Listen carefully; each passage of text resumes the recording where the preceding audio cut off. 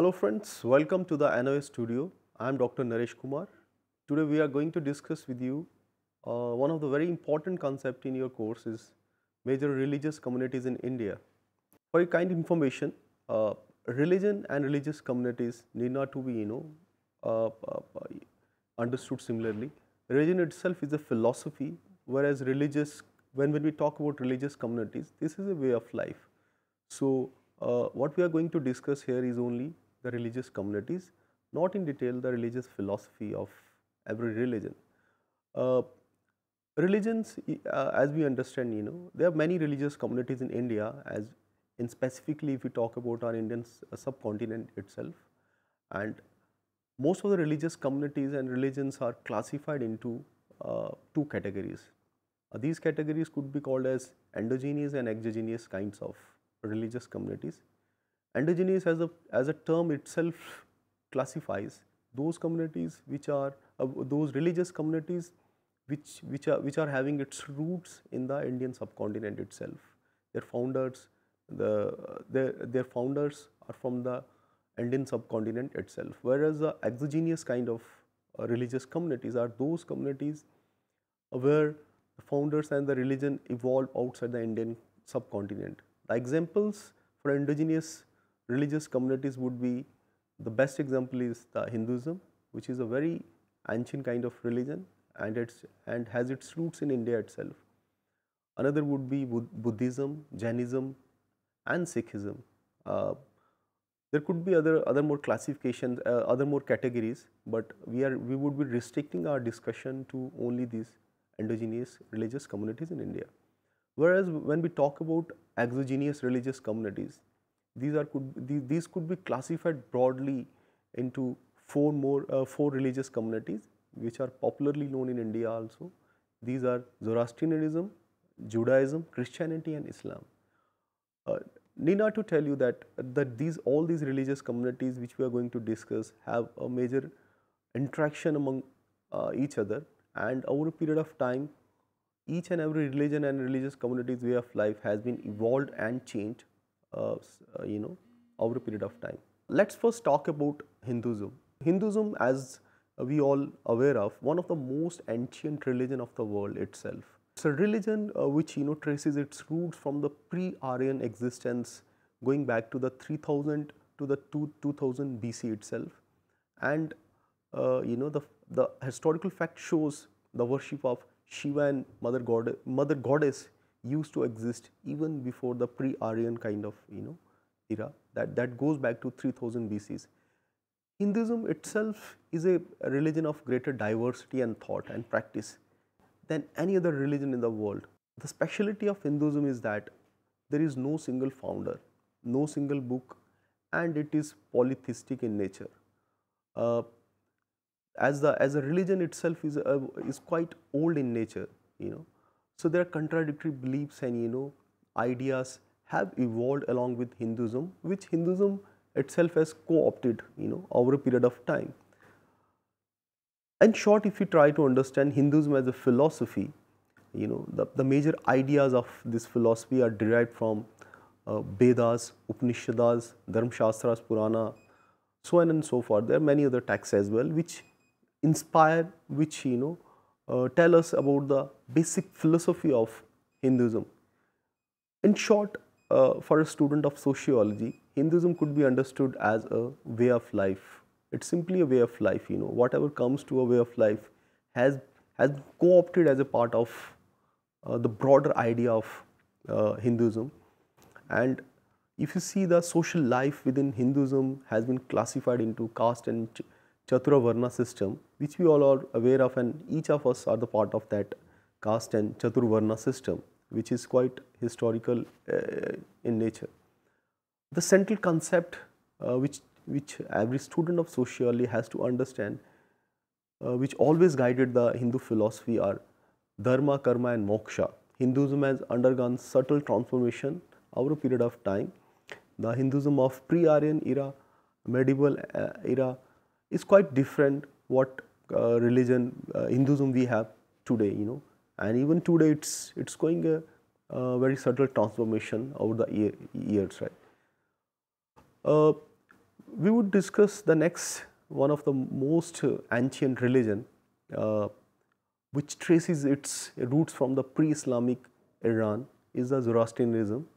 Uh, historically, if you go to you know history, we, we, we find its historical traces around 1000 BC among the eastern Iranian tribals. You know, it has evolved from there and become one of the most fascinating religion, a very peace-loving kind of religion uh, uh, after Hinduism. Uh, uh, in a sequence when we trace chronologically, uh, though all religion are, uh, the basic idea is very peace loving and you know for the for the humanities. So Zoroastrianism is based on the teaching of Zarathustra, also called as Spitma, uh, is a person, uh, and this this is basically teachings teachings of Zoroastrianism are contained mainly in the text called Gathas. As in Hinduism, uh, we have many texts, but uh, Zoroastrianism derives its philosophy, whatever you know, from uh, this particular book, Gathas. Uh, it is a religion which gives immense importance to earth and fire, and it occupies a greater importance in the Zoroastrians, you know, uh, way of life. And it is precisely because of uh, this importance, Zoroastrians doesn't burn their bodies, and usually these are kept in a uh, uh, uh, a tower of silence where the, the corpus is kept you know kept and open to the atmosphere heat and rain and words and you know comes and eat away the body. It's just a you know respect they do not burn the body. Uh, and the followers uh, of Zoroastrians are called Parsis. And this is one of the most leading religious uh, you know business community in India itself. Next in sequence is Buddhism, again a very historical ancient kind of religion. And Buddhism derives its philosophy from the preaching of Gautam Buddha. And Gautam Buddha itself uh, uh, was against the worship of gods and deities, uh, if you see and uh, uh, it, it, it could also be called as an offshoot of Hinduism, right? And mainly most of the Hindus also follow Buddhism also. And Gautam Buddha as you see that he emphasized on the spiritual development of human of the human being rather than following any kind of person. And Buddhism has also undergone a severe transformation over the period of time. They are, they are basically uh, two broader classifications within uh, uh, Buddhism, Hinayana and Mahayana and uh, which a student of you know any, any Buddhist study uh, has to engage with you see that the Buddhism itself has its uh, it, it has its historical traces, you know, history. It has it has been patronized over the over the period of time in the ancient era also by the you know, emperor and kings of India, most popularly known as uh, Ashoka and Harshvardhana. Under under their patronage, the Buddhism has flourished not only in India, but have, has has also been preached to the you know uh, uh, other other other countries and regions outside India as well. You find the the Buddhism, you know, got much more patronage uh, outside India than in India, uh, outside India than in India, uh, because the Hind Buddhism was in direct conflict with also the basic premises of you know basic lifestyle of uh, Hinduism also. Uh, they it criticized casteism and other you know evils which are the part which which were supposed to be the part of Hinduism and that's why you know it got lot of patronage outside India as well. Certainly it faced severe opposition from Hinduism uh, within the Indian subcontinent. Uh, likewise uh, Buddhism there is one more religion which we all are aware of that is called Jainism and is one of the most uh, uh, you know the non-violent peace peace loving kind of religion basically believes in vegetarianism and the founded by Vardhamana Mahavira like Buddhism was founded by uh, Gautam Buddha and the founder of Jainism is Vardhamana Mahavira. Around 540 uh, to 468 BC uh, uh, you know you find the uh, evolution of this you know the, the, beginning of this religion.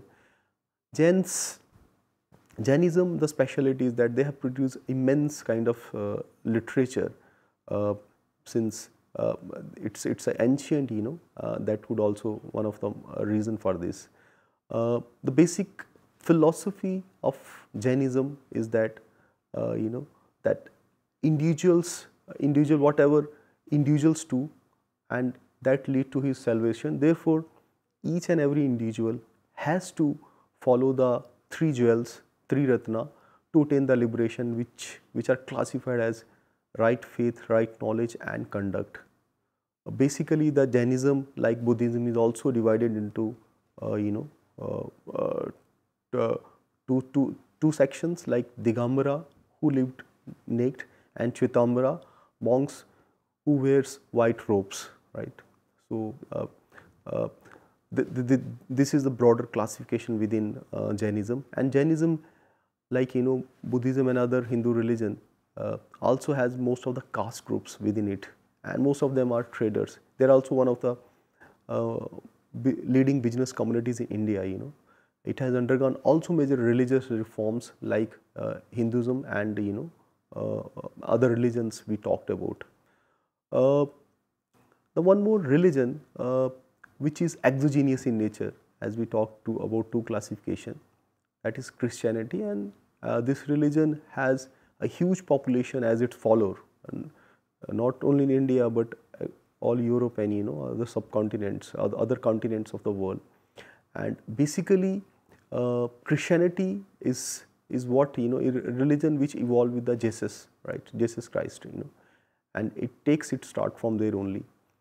Christianity came uh, came out of Judaism, which we are going to discuss, and it is a monolithic kind of faith. It it continues to be highly heterogeneous in the beginning, uh, but still with some common principles, you know, uh, which binds the uh, different, you know, uh, uh, classifications within Christianity like Protestant and, you know, they are Catholics. So, there are many, uh, other, other classifications also within the Christianity, but they basically follow the basic ideas that is that remain almost you know uh, similar across these dissections uh, not dissection but you know uh, different parts of this Christianity are faith, hope and love you know. Its roots are older in India than Rome itself. So, you, you can well imagine you know.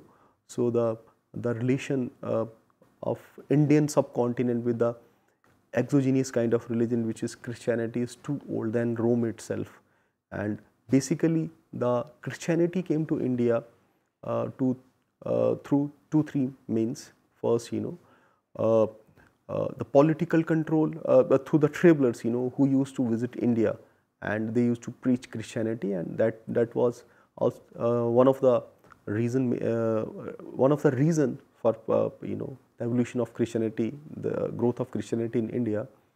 But mainly it is called as, you know, political control when the European came and the missionary practices activity started in India. They also preached Christianity uh, and now you find that there is a, uh, a huge population but uh, no, uh, uh, uh, not like Hinduism and you know other religious communities. Their population is less but still exist all across Indian states.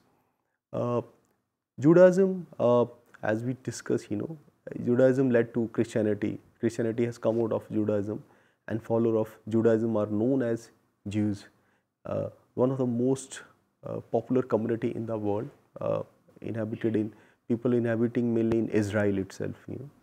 So, the small population in number in India, very small population, but uh, the major religious, you know, uh, ideas which govern is that this is a monolithic, mon uh, monotheistic religion and believes in transcendental God that is what you know define this uh, religion Judaism.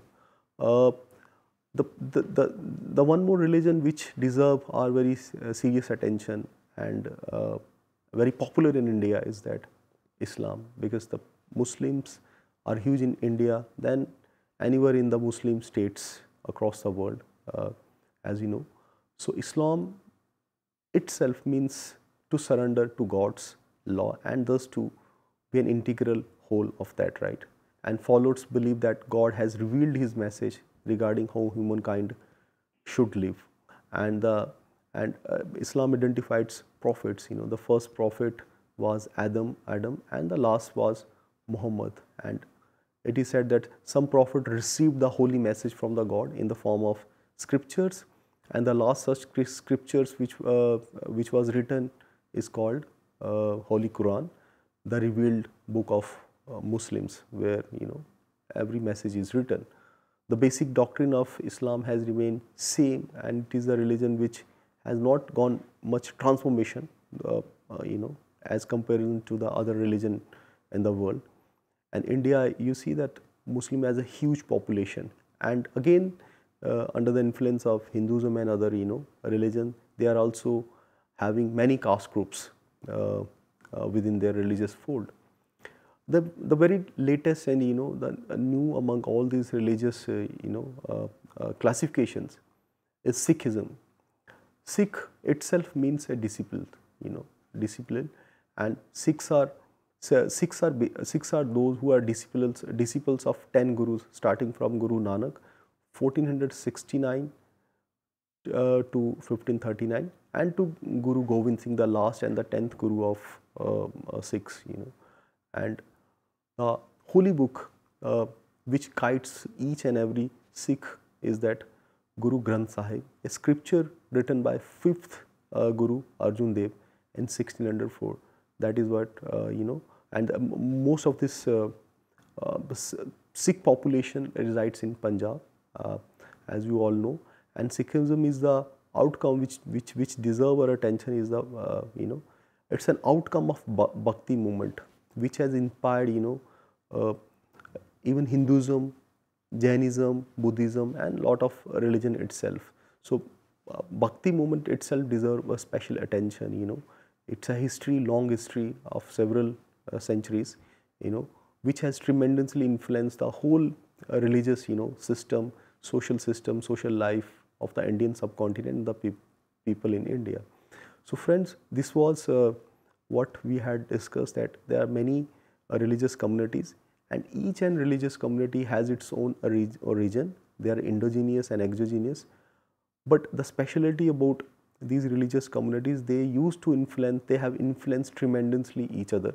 And more importantly, if you see the endogenous religions within India, which evolved from India, has influenced each other tremendously, you know. And uh, uh, the, the, the, the exogenous religion, which is Christianity and Islam, has also undergone severe transformation uh, under the influence of our endogenous religions which have evolved from India and that is what makes our uh, the society a very beautiful society where we are learning and you know uh, uh, uh following uh, part participating in each other's festivals and that makes our life a very composite cultural life of India. So friends as we have you know discussed different religious communities in India what we came to know is that the all religious communities has tremendous uh, you know and uh, influence upon each other uh, the hinduism the buddhism jainism sikhism we talk about you know each and every religion has inspired each other and influenced each other's way of life also. You see that the caste system in itself has infiltrated in each and every religion whether it is endogenous or exogenous. Christianity which is exogenous and Muslim, Muslim uh, Islam which is an exogenous religion has also got severe transformation. Uh, through the influence of our indigenous culture and that what makes uh, our society a very composite kind of society. The, the modernization which has came to in tradition has evolved this society as a, a you know very vibrant society uh, called Indian society and uh, we are inspired by each other's uh, culture, lifestyle and that, that what again makes us a very vibrant Indian society. Thank you.